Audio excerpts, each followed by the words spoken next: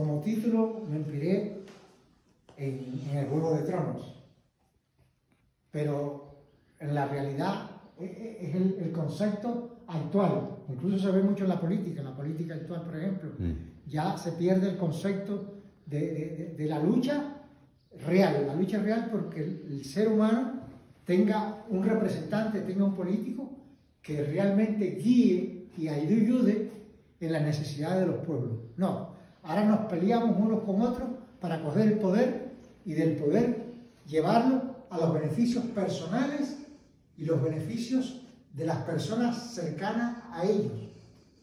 Ya se olvida el concepto de, de, los primeros hombres, de la religión, de Cristo.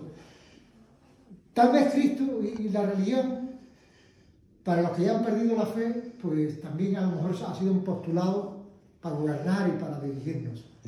Pero es una pena, es una pena que, que, que el mundo nos lleva a esto, a, a, la lucha por la lucha, sin pensar ni incluso de interesarnos, porque el ser humano de verdad, de verdad tiene unas condiciones idóneas para vivir y para convivir.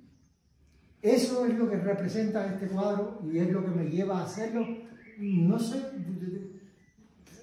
sin una previa meditación, sino por los avatares del diario de la vida y tal vez también porque soy una víctima más. Eh, en realidad, mucha gente se preguntarán, ¿y por qué aborda un tema tan fuerte y tan... Mm. ¿Por qué no aborda temas más bonitos y, y que realmente más sean más comerciales y que pueda venderlo y que puedan... Porque, porque no sé, porque soy un, como dije antes, tal vez una víctima testigo del momento que vivimos en este el mundo real y lo que arrastramos de los siglos anteriores. Por lo tanto, lo hago porque está más, más, más allá de, de, de, mí, de mis ideas, mis pensamientos. Que esta es tu guerra, la guerra de, tronos de, de, este es, mundo. Claro. Es lo que siento.